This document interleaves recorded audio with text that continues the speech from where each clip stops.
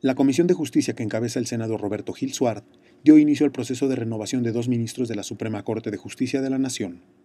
En la sesión matutina comparecieron Pablo Vicente Monroy Gómez, Alberto Pérez Dayán y Andrea Zambrana Castañeda, propuestos por el Ejecutivo Federal para cubrir la vacante del ministro Sergio Salvador Aguirre Anguiano.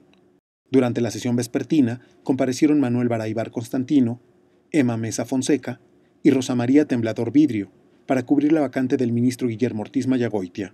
Coordinación de Comunicación Social, Senado de la República.